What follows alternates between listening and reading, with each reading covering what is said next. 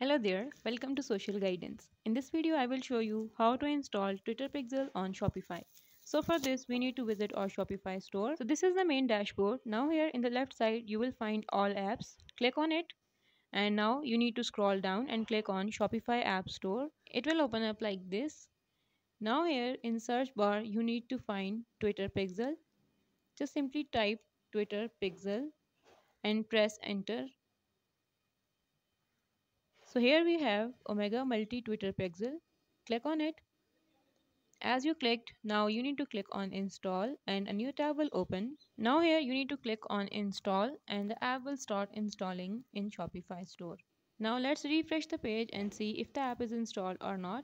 So as you can see here, it's Omega Twitter Pixel is added in our app section. So in this way, you can install Twitter Pixel on Shopify. If this video helped you, leave a like on the video and make sure to subscribe us. Thank you for watching. Bye.